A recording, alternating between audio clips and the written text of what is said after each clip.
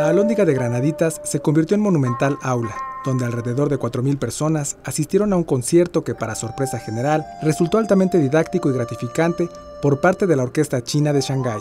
Dentro de las actividades de la edición 46 del Festival Internacional Cervantino, músicos profesionales ejecutaron en vivo instrumentos de viento, cuerdas y percusión. La nueva escena de la música oriental china fue presentado ante el numeroso público guanajuatense, abarcando miles de años y encarnando la escena cultural de China.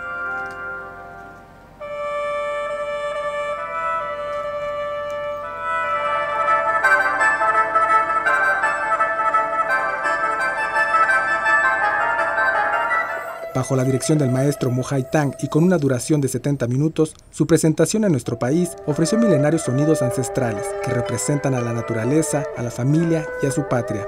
La Orquesta China de Shanghái tiene como objetivo difundir y popularizar los ritmos folclóricos de ese país, tanto a nivel nacional como internacional, y ha profundizado en el repertorio de este estilo por medio de la creación activa. Con información de Juan Carlos Castellanos e imágenes de Eric Gómez enviados, Notimex.